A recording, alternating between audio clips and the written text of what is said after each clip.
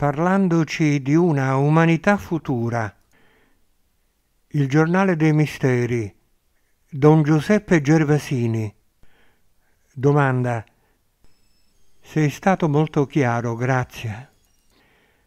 Ricordo che tempo addietro, parlandoci di un'umanità futura in un'altra era, avevi detto che non ci sarebbero più state famiglie, che forse l'uomo e la donna in grande purezza di sentimenti non avrebbero avuto bisogno di questi legami, che ci sarebbe stata un'altra organizzazione sociale.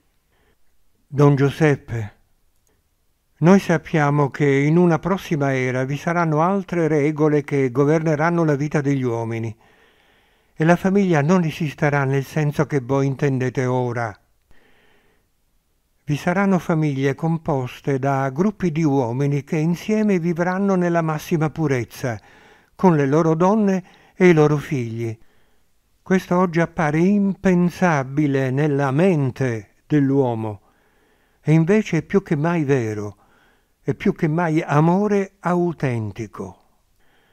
Noi sappiamo che l'uomo vivrà quest'altro tipo di esperienza avanti negli anni. Domanda. Nella massima purezza con le donne e con i figli è una purezza relativa, voglio dire. Ci saranno sempre i soliti rapporti come ci sono attualmente, intendo rapporti fisici. Don Giuseppe, Certamente, il rapporto fisico è il rapporto puro, quando è fatto per amore. Nessuno mai ha pensato di dire che non lo sia. Perché mai l'uomo sarebbe stato formato in questa maniera? L'uomo quindi ha un corpo e ogni parte del suo corpo ha modo di essere per essere usata. E quindi l'amore fisico, quando è unito all'amore puro e sereno, è sempre un amore accettato e voluto anche da noi con grande gioia.